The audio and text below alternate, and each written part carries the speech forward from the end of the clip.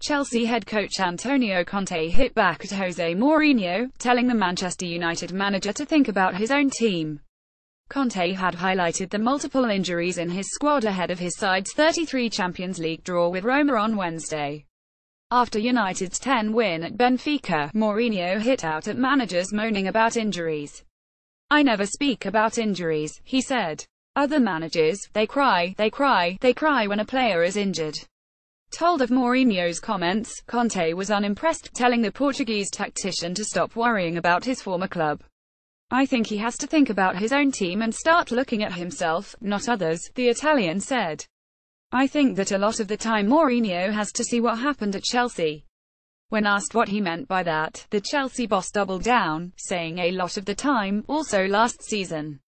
N'Golo Kante, Danny Drinkwater and Victor Moses are sidelined for Chelsea, while David Luiz Carpentier way back Bakayoko Groim picked up injuries against Roma.